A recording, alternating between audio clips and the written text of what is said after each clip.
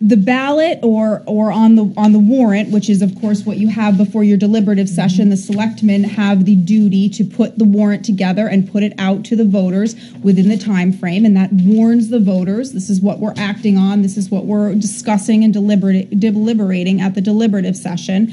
Um, that's their role to put together um, the warrant, and then of course um, the ballot is put together after the deliberative session because it has to reflect any amendments made to warrant articles that were contained on the warrant.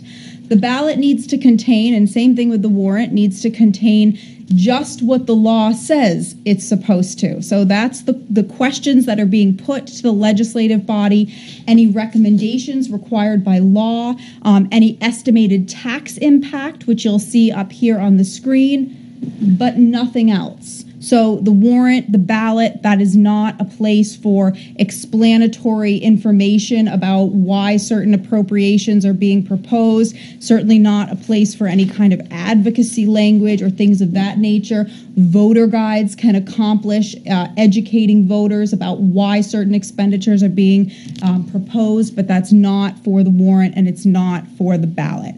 Um, the estimated tax impact, something that the legislative body adopts and says, yes, we want. Um, we want that to be on our warrant articles. It's put on the operating budget and any special articles with a tax impact as determined by the selectmen. And then ultimately, the tax impact is subject to their approval. So, so they're the ones who approve that, yes, this is um, the appropriate tax impact.